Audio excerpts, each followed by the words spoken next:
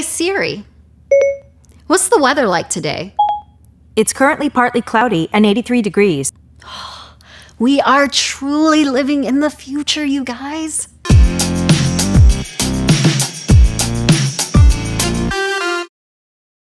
Natural language processing. That's how I can talk to my watch, my phone, or my smart speaker, and how all of those things can talk right back.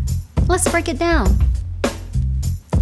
We've got NLP, NLU, and NLG. Now, often people will use these terms interchangeably, but that is not quite right. See, in reality, natural language processing is made up of natural language understanding and natural language generation.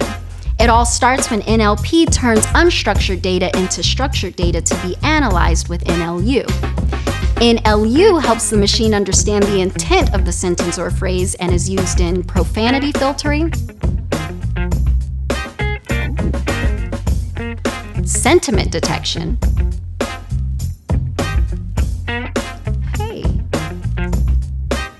topic classification, entity detection, and more.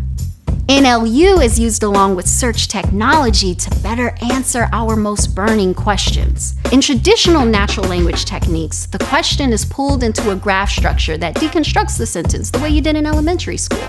But newer techniques use deep learning. Deep learning helps the computer learn more about your use of language by looking at previous questions and the way you responded to the results. Once the machine totally understands your meaning, then NLG gets to work generating a response that you'll understand. Hey Siri, I see a little silhouette of a man. Scaramouche, Scaramouche, will you do the Future, fandango? guys. Thunderbolt and lightning, very, very very, very frightening. frightening. Galileo, Galileo, Galileo, Galileo. For more information on all things AI, subscribe to this channel and check out these other videos.